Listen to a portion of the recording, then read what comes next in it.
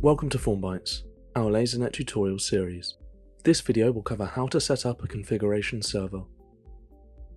Open the configuration server installer. Click Next, and then read and accept the terms and conditions of the license agreement. Select a location to download LaserNet 10 and then click Next. If you'd like, you may customize which specific features are installed to your machine, but all the necessary features will be installed by default. Click Next and then Install to begin installation. Once this is complete, you may click Finish and close the window.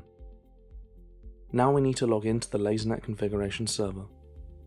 Open your web browser and navigate to https colon forward slash forward slash localhost colon 33443 slash lasernet slash config. If you've used a different machine to install the config server, localhost must be replaced with the correct address for that machine. In some cases, you may be presented with a page that tells you your connection is not private. In this case, click on Advanced and then click Continue. To log in, type admin in the username field and leave the password field empty. Click Next and you'll be prompted to create a new password.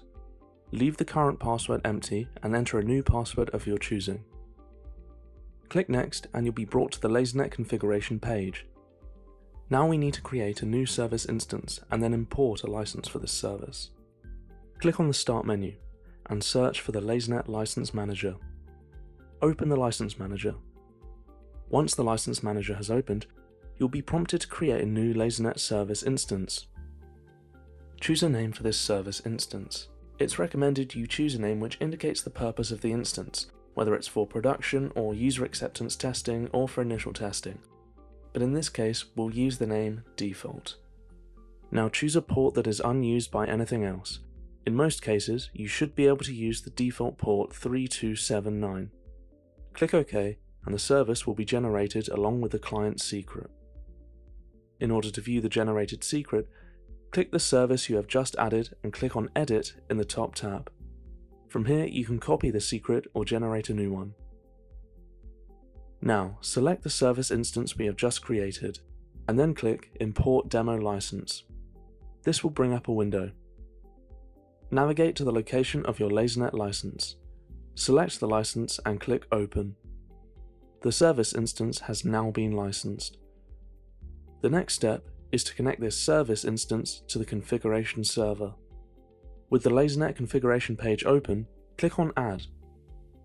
Now we need to enter the instance details that we just used in the server license manager.